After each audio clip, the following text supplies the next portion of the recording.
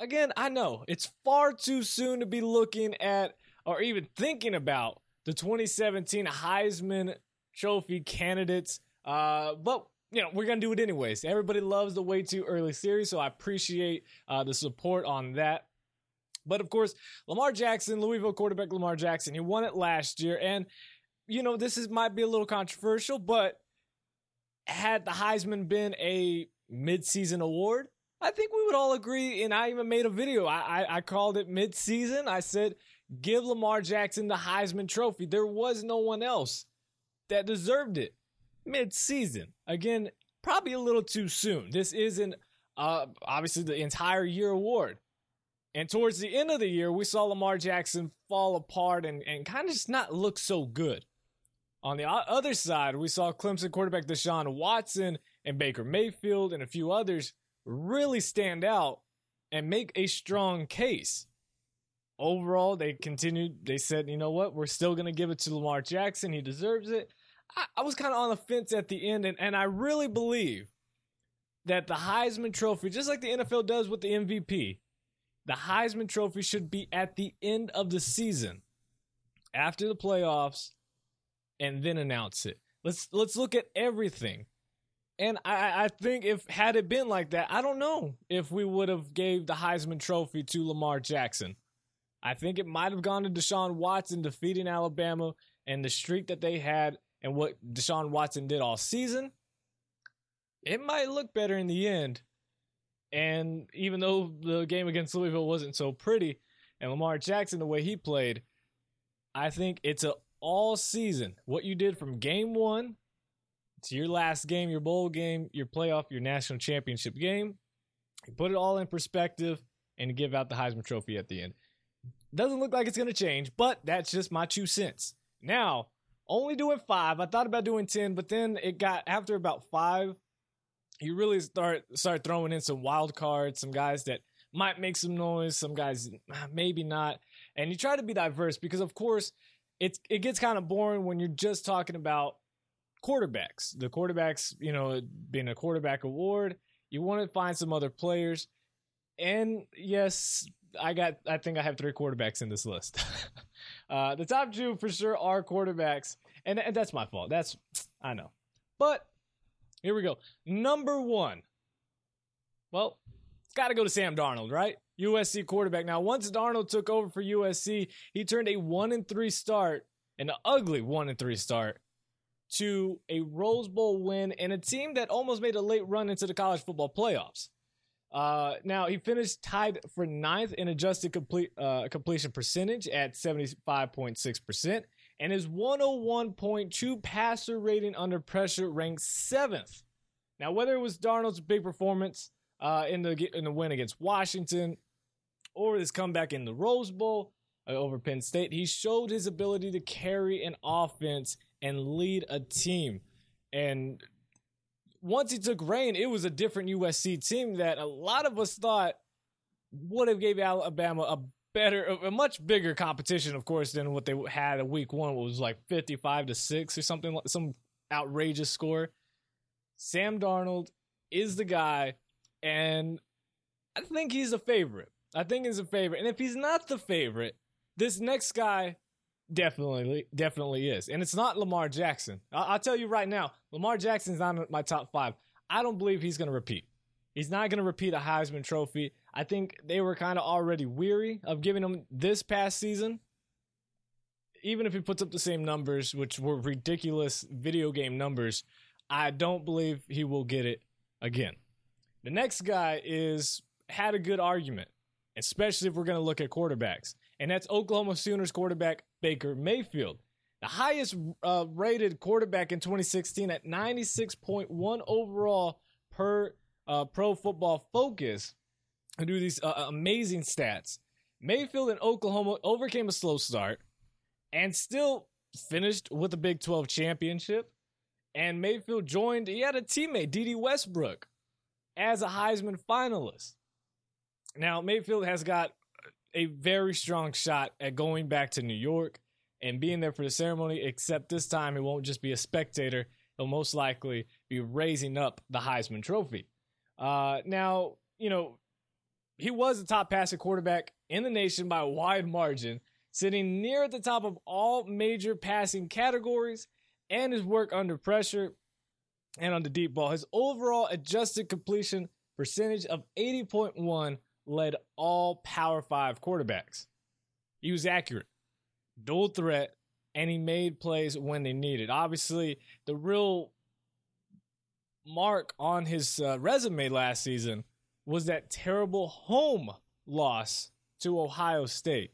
Had it been on the road, maybe it's a little bit different.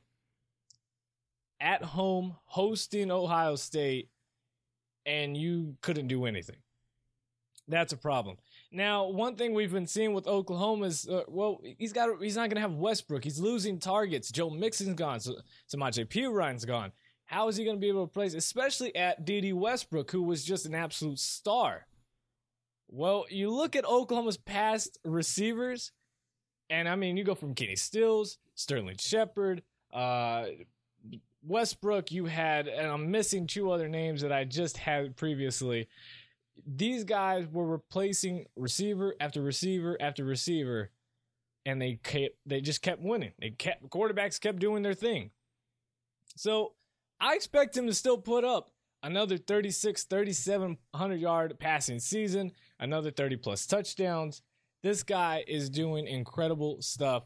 And that's why I know I that's my last quarterback I got on here. It's my last quarterback. But those two guys are have to be the favorite at the quarterback position.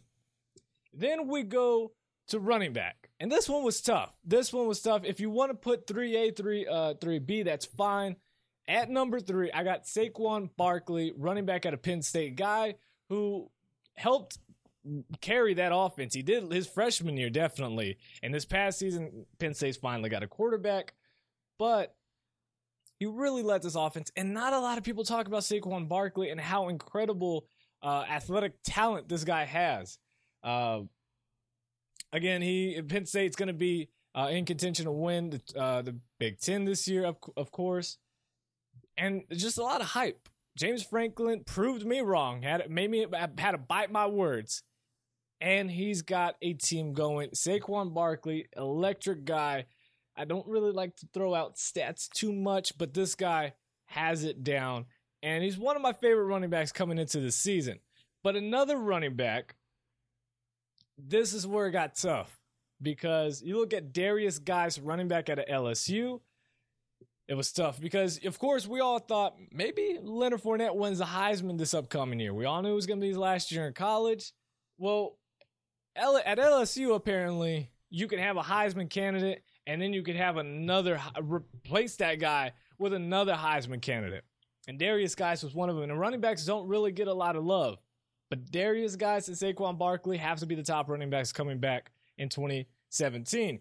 Uh, finished with 1,300 yards, almost 1,400 yards rushing, 15 touchdowns. Again, this was backing up Leonard Fournette, who did battle through through injuries, did miss a few games. So Guice still had you know a good amount of playing time, but he was still labeled as the backup running back. Leonard Fournette was the starter, was the guy leading this offense until he got hurt, until he started missing those games.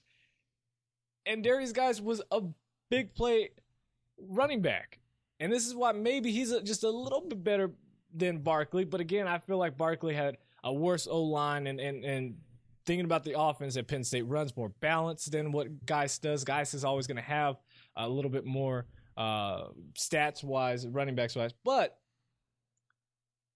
58.6% of his yards came from breakaway runs, 15 plus or more.